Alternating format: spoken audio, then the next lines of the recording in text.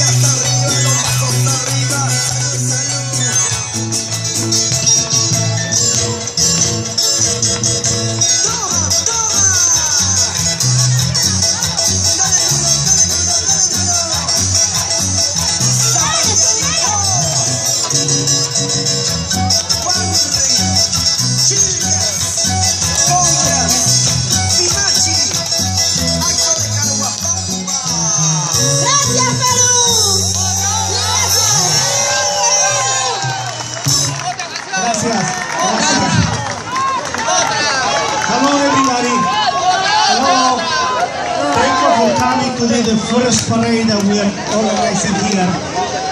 Believe it or not, this parade has been done in less than 10 days. I would like to thank, welcome to all of you and also to thanks to NYPD, to our Inspector Cody for their professionalism and for the help they provided to us. Believe it or not, I would like to say a few words to NYPD. Since I met them, they never